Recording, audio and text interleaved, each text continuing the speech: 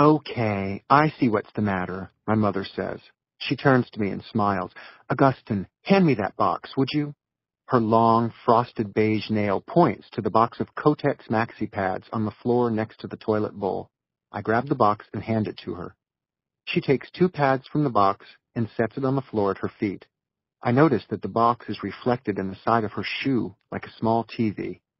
Carefully, she peels the paper strip off the back of one of the pads and slides it through the neck of her dress, placing it on top of her left shoulder. She smooths the silk over the pad and puts another one on the right side. She stands back. What do you think of that? she says. She is delighted with herself. It's as if she's drawn a picture and placed it on her own internal refrigerator door. Neat, I say. You have a very creative mother, she says. Instant shoulder pads. The blow dryer continues to tick like a clock, counting down the seconds. Hot things do that. Sometimes when my father or mother comes home, I will go down and stand near the hood of the car to listen to it tick, moving my face in close to feel the heat.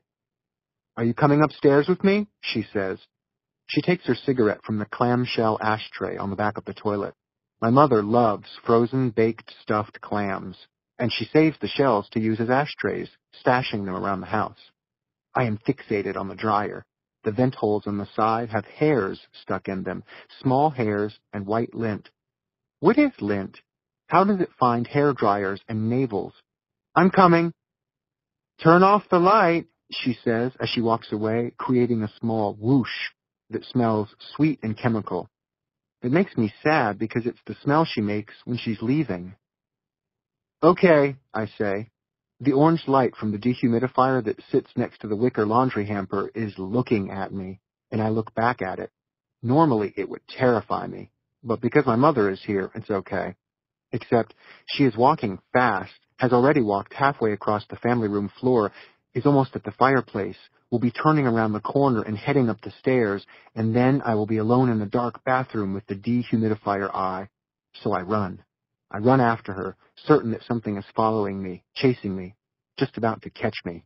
I run past my mother, running up the stairs, using my legs and my hands, charging ahead on all fours. I make it to the top and look down at her. She climbs the stairs slowly, deliberately, reminding me of an actress on the way to the stage to accept her Academy Award. Her eyes are trained on me, her smile all mine. You run up those stairs just like Cream. Cream is our dog, and we both love her. She's not my father's dog or my older brother's. She's most of all not my older brother's, since he's sixteen, seven years older than I, and he lives with roommates in Sunderland a few miles away. He dropped out of high school because he said he was too smart to go, and he hates our parents, and he says he can't stand to be here, and they say they can't control him, that he's out of control, and so I almost never see him. So Cream doesn't belong to him at all. She is mine and my mother's. She loves us most, and we love her. We share her. I am just like Cream, the golden retriever my mother loves.